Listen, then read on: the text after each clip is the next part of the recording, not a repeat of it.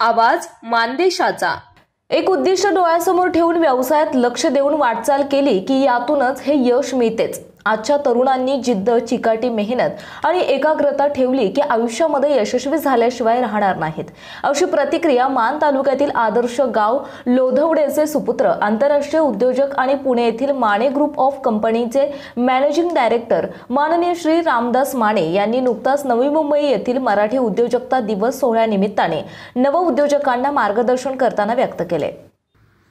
नवी मुंबई येथे गेली बावीस वर्ष महाराष्ट्रीयन उद्योजकांसाठी कार्यरत असलेल्या सॅटर्डे क्लब ग्लोबल ट्रस्टच्या वर्धापन दिनानिमित्त आयोजित केलेल्या मराठी उद्योजकता दिवस सोहळ्यात नवी मुंबई वाशी येथे बोलत होते. या कार्यक्रमासाठी सूक्ष्म लघु आणि माध्यम उद्योग केंद्रीय मंत्री नामदार नारायण राणेसाहेब इव्हिट्रिक मोटर्स प्रायव्हेट लिमिटेड कंपनीचे मॅनेजिंग डायरेक्टर उद्योजक Shri Manoj Patil Saturday club global ट्रस्टीचे chairman Shri Ashok Dugade general secretary Vineet Bansode. ट्रस्टचे पदाधिकारी आणि महाराष्ट्रातील नवउद्योजक मोठ्या संख्येने उपस्थित होते. रामदास माने पुढे बोलताना म्हणाले की एकमेकास सहाय्य करू अवघे बनव श्रीमंत.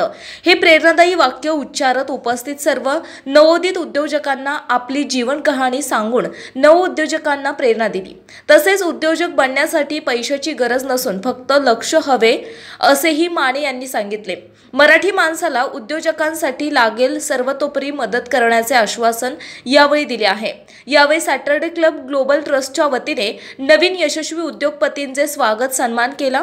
या कार्यक्रमाला सॅटर्डे क्लबचे अध्यक्ष अशोक दुगाडे विनीत बनसोडे श्री पाटील यांनी मराठी उद्योजकांना चालना देण्यासाठी कैलासवासीय माधवराव भिडे यांनी ही संस्था चालू केल्याचे सांगितले. या कार्यक्रमामध्ये कैलासवासीय माधवराव भिडे यांचे चलचित्र दाखवण्यात आले. शेकडो नवउद्योजकांनी या कार्यक्रमाचा लाभ घेतला आहे.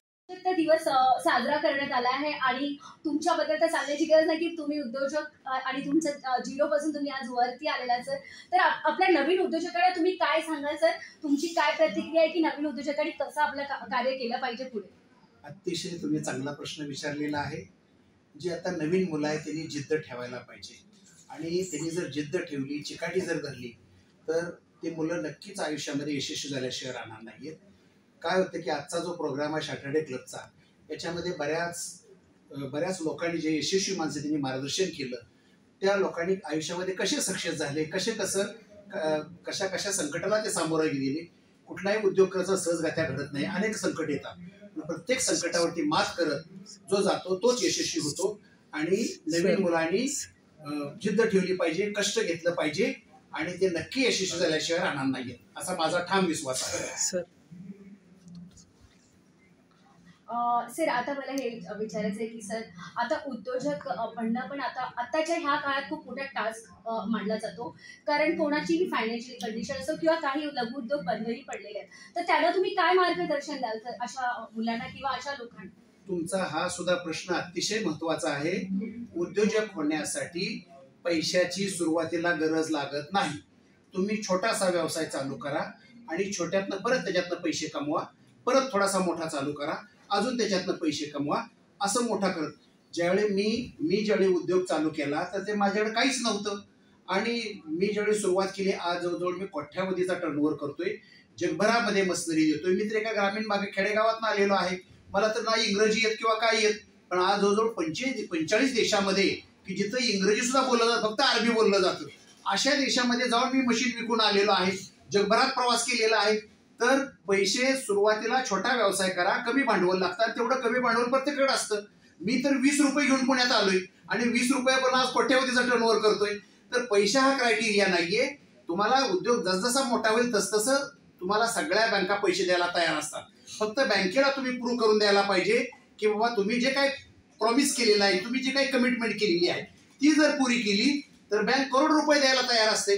त्याच्यामुळे तसा पैशाचा विषय नाहीये.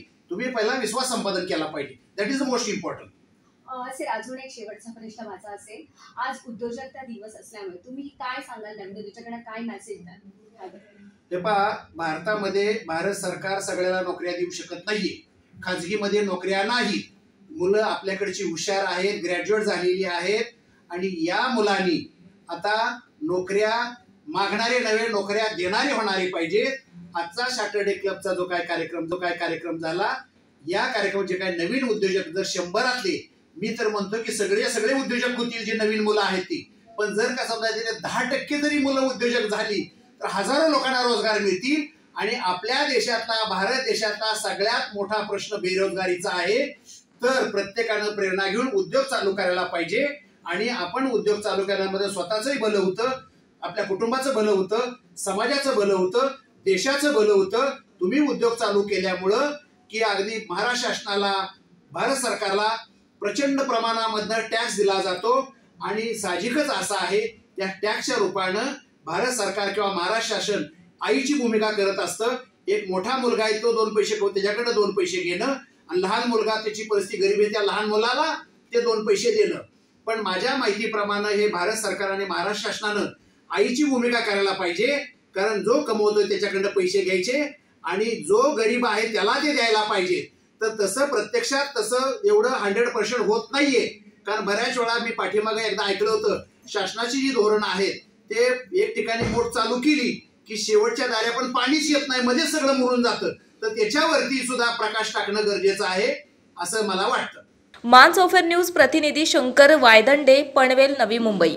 आपल्या जिल्ह्यातील तालुक्यातील लेटेस्ट बातम्या पाहण्यासाठी आजच मान ऑफर न्यूज चॅनलला यूट्यूबवर सबस्क्राईब करा आणि बेल आयकॉन प्रेस करा.